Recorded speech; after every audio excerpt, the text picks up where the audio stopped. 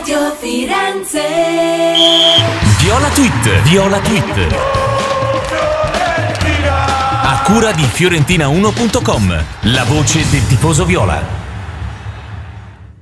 Buonasera a tutti i nostri ascoltatori. Sampdoria molto interessato a Giovanni Simeone, proposto come contropartita alla Fiorentina Manolo Gabbiadini, che però non convince. La gestione ad altre squadre dell'ex Napoli potrebbe comunque sbloccare la trattativa. Davide Santoni in uscita dalla Roma. I giallorossi sono vicini a Zappacosta che libererebbe l'ex Inter.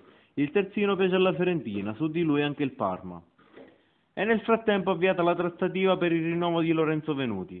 Dopo aver conquistato la conferma ha anche convinto la società a puntare su di lui e a breve potrebbe arrivare la firma del prolungamento.